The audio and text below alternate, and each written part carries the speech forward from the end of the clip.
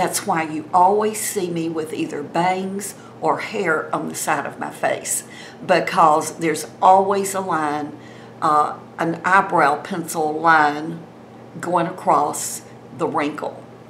I, that morning, about a week and a half, two weeks ago, I went to draw my eyebrow on and realized that that line was smooth.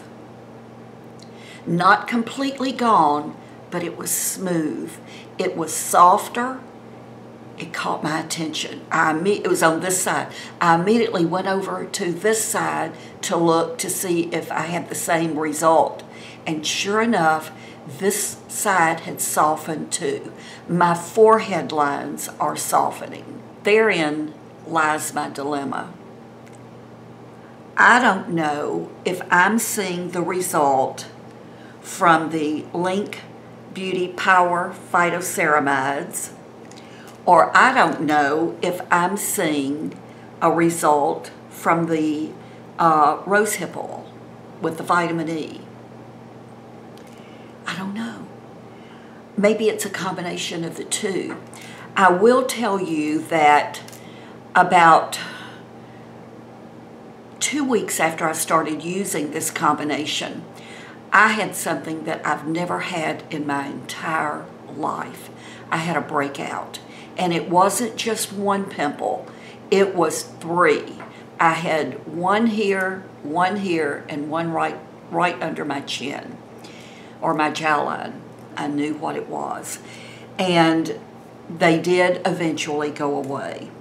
Uh, I was watching just this morning Susan again uh, from Little Poet, and she was talking in her video about going to the dermatologist. And she mentioned to him about the rosehip oil, and she mentioned to him that I had told her that I had a breakout, and possibly from the rosehip oil. And he told her that you should really use your, use your moisturizer and put a drop or two of the rosehip oil in your moisturizer and then use it. That a lot of times with rosehip oil, um, it's just too strong in the beginning. Well, I really didn't notice it being too strong in the beginning because I would put about a pump or a pump and a half in the palm of my hand and just put it all over my face. I never had any redness from it or any irritation or any burning. It was it was just fine.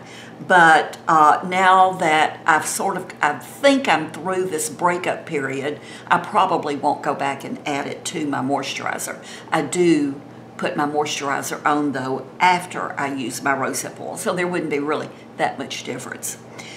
My experience with the rosehip oil, I will continue to use this. I absolutely love this. I'm addicted to the woodsy smell. I've even purchased uh, two other brands of this.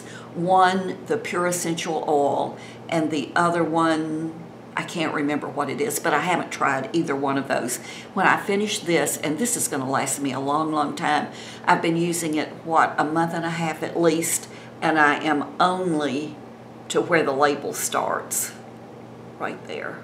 So this is going to last a while. The phytoceramides.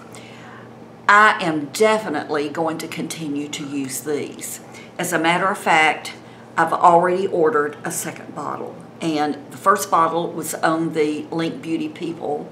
They sent them to me for free to try and review. Uh, but I purchased the second bottle myself. I'm going to continue to take these for a few months actually, to be sure. I uh, did ask if uh, they had an auto delivery type program where I could just have these sent to me automatically once a month, and they don't. I could just uh, bite the bullet and buy, you know, a few months supply at one time, and I may break down and do that. But they're less than $20. I, I want to say they're about $18 most of you know I'm a vegetarian. I eat a really good diet 90% of the time. Uh, I get a lot of my nutrients. I live in Florida. I'm out in the sun all the time, so I'm getting vitamin D.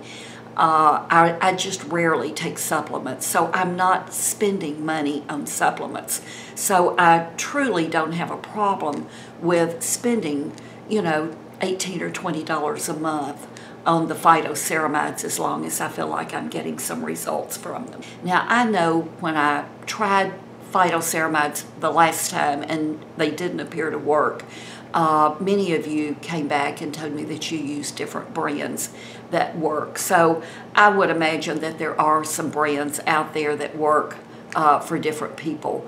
But uh, since I feel like these are contributing to the results I'm seeing, uh, I'm going to continue to just stick with this brand.